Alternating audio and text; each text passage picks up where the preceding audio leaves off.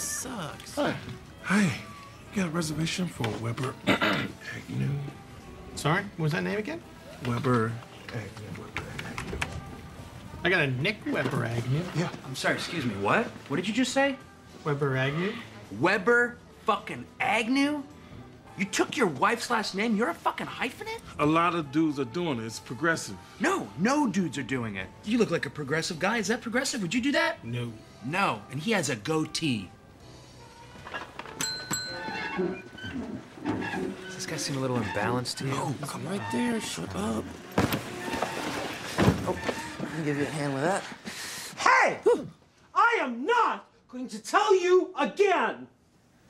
You can handle it. This guy's a fucking dick. He's disabled. So what? He's exempt from common fucking courtesy because he can't start a round of applause? He's gonna jerk off one-handed? I mean, I certainly don't take my hands and I put them together and oil them up. Hey, 420, our old room. Check it out. That's okay, Oh, man. those are mine. I'll just get those.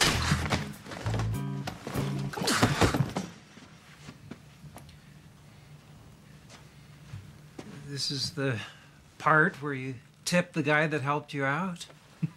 I, I'm not the guy. Nick, pay the pay the man. Sorry. I got it. I got it. Place looks like shit.